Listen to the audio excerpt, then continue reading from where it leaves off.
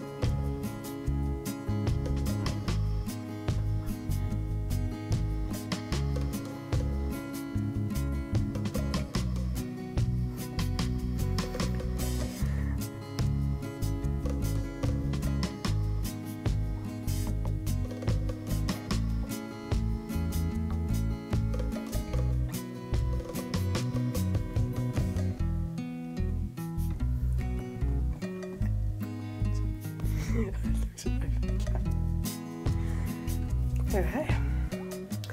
I knew I would have written this, so that was me attempting my longest stare